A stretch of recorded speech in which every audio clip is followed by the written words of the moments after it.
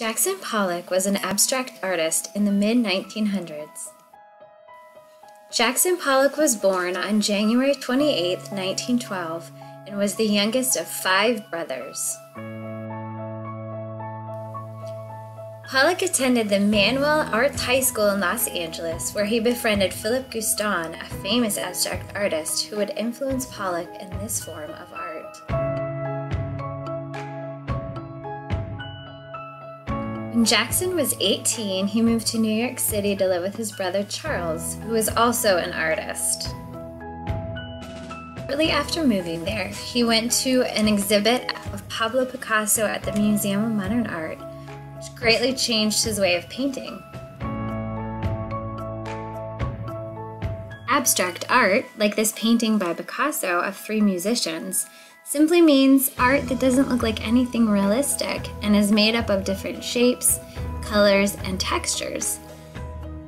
This painting, called Going West by Pollock, is an example of abstract art because it looks surreal or imaginative. This is one of Pollock's earlier paintings, which is clearly abstract, with lots of lines, colors, and shapes that have no definite picture. While perfecting his abstract technique, Pollock met another abstract artist named Lee Krasner in 1941. The two were married in 1945 and were married for 10 years until Pollock's death in 1956.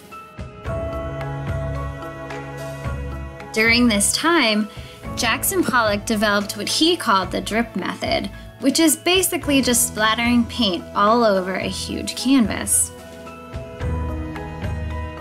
The first painting he introduced using this method in 1950 was called Number One, or Lavender Mist.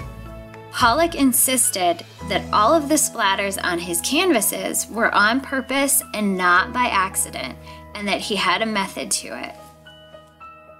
Pollock became very famous, and his paintings can be found at museums around the world.